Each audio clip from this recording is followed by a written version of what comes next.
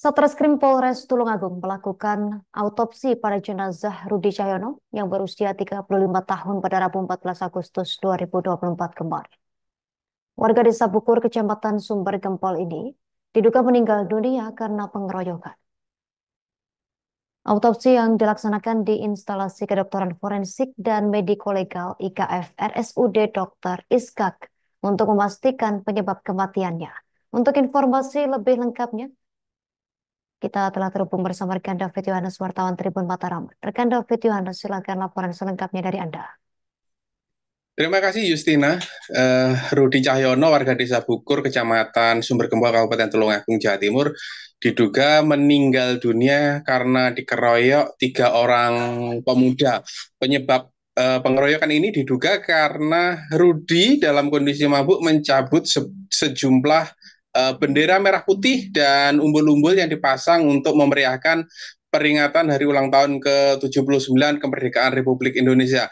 Kejadian ini bermula pada saat uh, Minggu dini hari yang lalu pada hari eh, pada tanggal 14 maaf pada tanggal 11 uh, Agustus tahun 2024 dini hari Rudi dalam kondisi uh, mabuk kemudian tanpa kontrol dia mencabut sejumlah bendera dan umbul-umbul yang sudah dipasang warga di tepi jalan.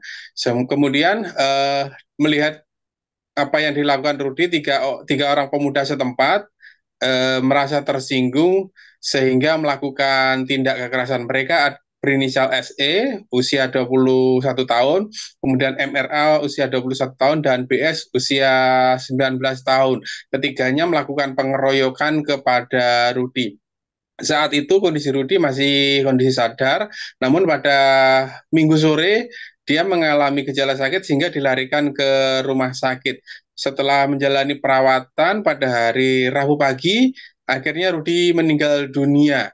Karena sebelumnya menjadi korban pengeroyokan oleh tiga orang ini, maka jenazahnya kemudian diautopsi pada Rabu sore dan saat ini Kepolisian uh, Resort Tulungagung telah menuntaskan uh, dokumen hasil otopsi ini dan dipastikan memang Rudi mengalami kekerasan dan ada bekas uh, di bagian otak kanan. Karena itu polisi kemudian melakukan penangkapan terhadap tiga orang pemuda yang sebelumnya uh, sudah melakukan pengeroyokan kepada Rudi ketiganya sudah ditetapkan sebagai tersangka dan ditahan dan dijerat dengan pasal 170 KUHP eh, ayat 2 tentang pengeroyokan eh, yang menyebabkan korban meninggal dunia dengan ancaman pidana penjara selama 12 tahun.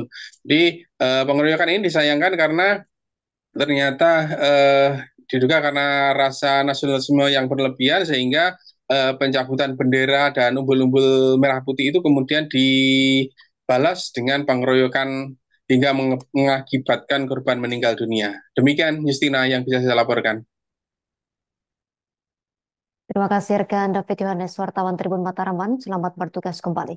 Pemirsa kami tampilkan wawancara wartawan kami bersama AKP Muhammad Nur, Kasat Reskrim Polres Tulungagung. Dan itu tanggal 11 Agustus. Agustus. Oke. Okay. Itu modusnya itu para pelaku melakukan tindak pidana kekerasan secara bersama-sama itu awalnya korban itu mabuk.